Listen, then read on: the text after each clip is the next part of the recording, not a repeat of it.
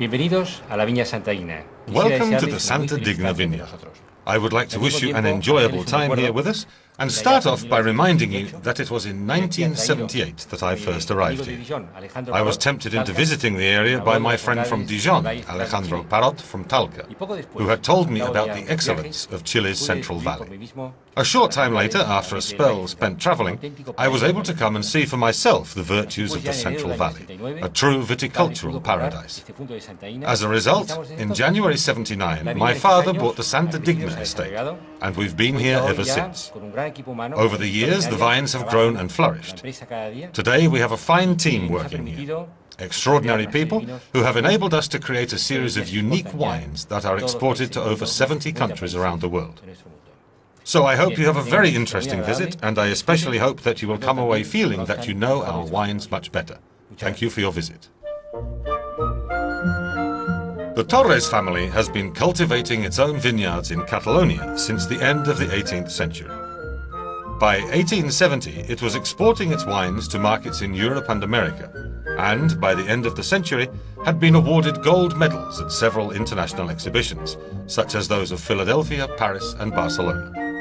In 1979, Don Miguel Torres Carbó acquired a new winery in the Central Valley near Curicó, surrounded by an extensive vineyard.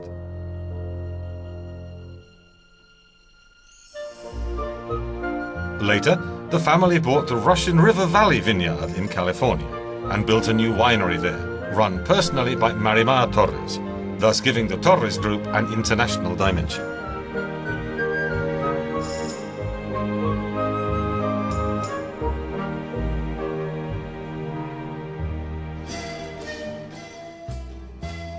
Chile boasts an exceptional climate for growing all kinds of wine grapes. It is a sanctuary for viticulture, protected to the east by the Andes Mountains, to the west by the Pacific Ocean, to the north by the Atacama Desert, and to the south by the Drake Sea. In the summer, night and day temperatures can show a difference of up to 20 degrees. We should also point out that many of the diseases suffered by vines in the rest of the world are completely unknown here. Phylloxera is non-existent, so we can grow old stock here with no need to graft it onto new rootstock, just as we grew it in Europe 200 years ago. This means there are vines that are over 100 years old. Good examples of these can be found on our famous Manso de Velasco estate. In addition to the area's natural conditions, the Chilean people have inherited a wine culture from their Latin roots, since the first Spaniards arrived here almost 500 years ago. Our first property in Chile was the Maquehua estate in the valley of Curicó, where our winemaking and aging facilities are also located, as well as the modern visitors center with its renowned restaurant.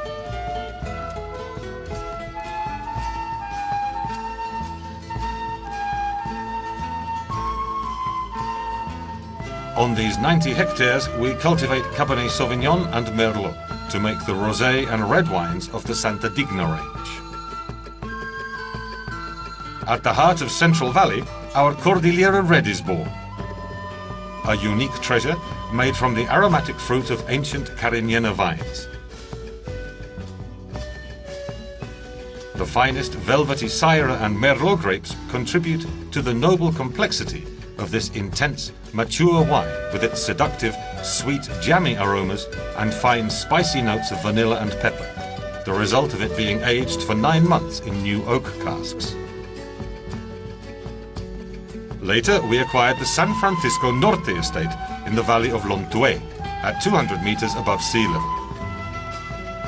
On these 55 hectares of volcanic soil, we grow the Pinot Noir used to make our famous Brut Miguel Torres.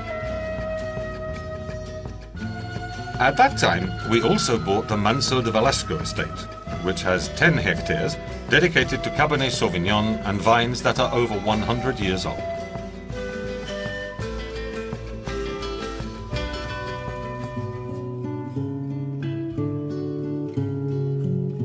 Near the Andes, in the Rio Claro Valley, we also have 110 hectares of vineyards on volcanic and clay soil. where we grow white grape varieties, Sauvignon Blanc, Chardonnay, Gewürztraminer and Riesling, which require a cool climate in order to develop their more delicate aromas.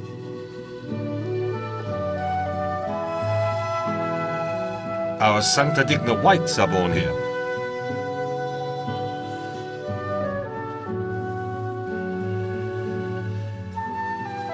The grapes used to make Maquehua also come from this area. We devote a great deal of painstaking work to this Chardonnay, renouncing the more common routine processes and using cold maceration techniques to enhance the most delicate aromas of the fruit. The wine ferments in small new casks made of French oak from the forests of Nevers and is aged on its lees for eight months to enrich its complex, elegant aromas.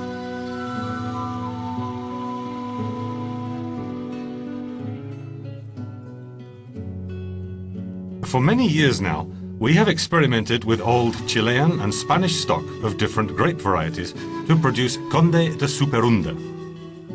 Cabernet Sauvignon, Carmenere, Tempranillo and Monastrell form the basis of this wine, aged in new casks of Nevers oak for a period of 24 months. After several years searching by our viticultural team, a fundo, or estate, was found with slate-based soils, located 180 kilometers south of Curicó. At this 400 hectares estate, the soil is distributed in a mosaic pattern with steep slopes, forming las terrazas, or terraces, and creating a range of exclusive conditions for the planting of vines bearing concentrated, complex red wines. This is an area that is highly exclusive in nature and with great potential.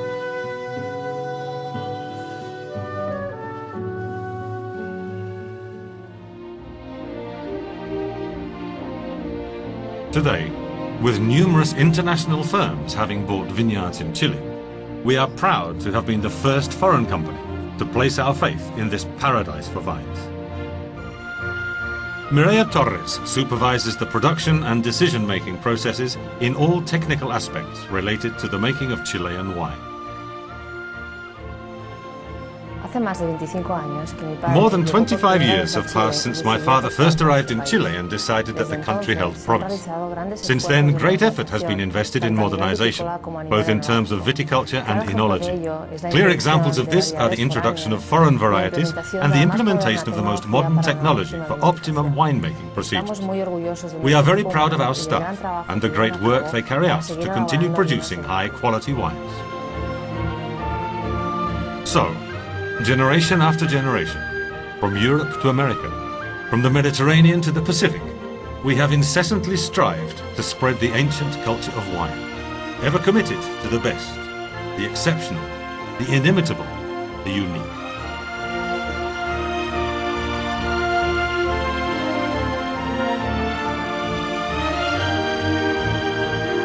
And we, the members of the Torres family, believe that we have remained true to the legacy of our ancestors and to the personality and mission of our company.